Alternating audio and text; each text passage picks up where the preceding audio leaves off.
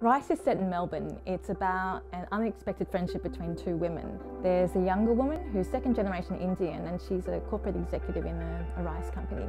And then there's the older woman who's Chinese and she's a cleaner. I was inspired to write Rice because, um, well, partly I was really intrigued by seeing what these two women would do in, in a play in a world together. Uh, and for me, significantly, they're two women of colour.